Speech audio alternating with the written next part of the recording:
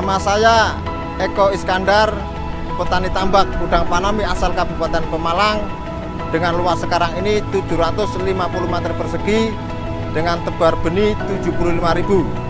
Saya Subohi dari Pemalang, usaha udang panami yang luas lahan 2000 meter persegi dengan taburan 150.000.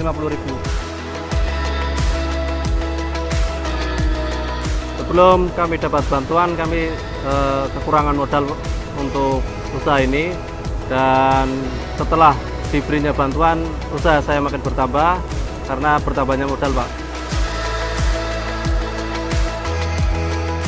Proses- prosesnya dari dinas saya suruh bikin proposal.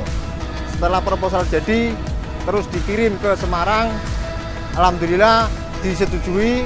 Setelah saya ke sana saya pulang dari Semarang. Satu jam kemudian sudah ditransfer sebanyak 40 juta.